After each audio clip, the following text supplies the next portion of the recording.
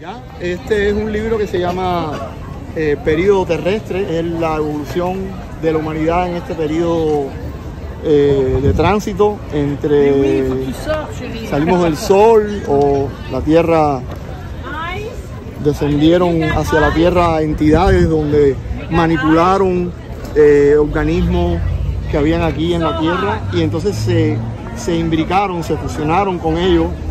Entonces los diferentes, los siete días de la semana, eh, los siete días de la creación, para decirlo de alguna forma. Entonces ellos insertaron diferentes tipos de conciencia para que la humanidad pudiera evolucionar, pero todo eso conllevó a, un, a una serie de recapitulaciones entre el periodo mineral, vegetal, animal y bueno, en el que estamos viviendo ahora que es el humano, ¿no?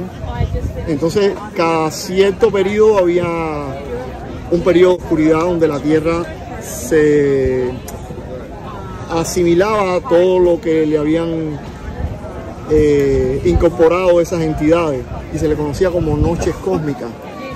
Entre un día y otro día, que son de millones de años de evolución, eh, se producían esos, esos pequeños, bueno, pequeños no, pero sí eh, periodos de, donde se hacía oscura la, materia y se fusionaban todos los, todos estos elementos orgánicos, cerebro, eh, brazos, elementos que puedan sugerir, por ejemplo, un rostro, una cabeza o animales caminando en una tierra primitiva que todavía no es ni, ni, lo, que, ni lo que fue el periodo eh, de ahora evolutivo por los, de los monos, es decir, del, denominador común que, de Darwin. Eso en los, los textos tibetanos se, se, expresa mejor, ¿no? Ellos tenían diferentes cosmogonías y, y bueno, buscaban todo a raíz del sol, ¿no? El sol como las entidades descendieron y se transmutaron a través del, del, del hombre, del, del, mono. Y a partir de ahí, bueno, desarrollaron toda una, hasta que ya recibieron ya la luz como tal del sol eh, físico. había un, un sol interno. Todos tenemos un universo propio gracias a, a, las entidades esas que nos visitaron hace tiempo. Nosotros somos parte de ellas, nosotros somos los dioses, dioses internos.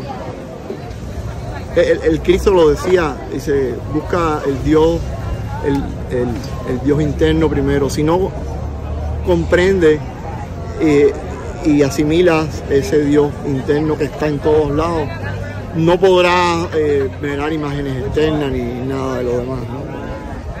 es lo que tuyo es el reino. El reino está dentro de todos nosotros. Eso.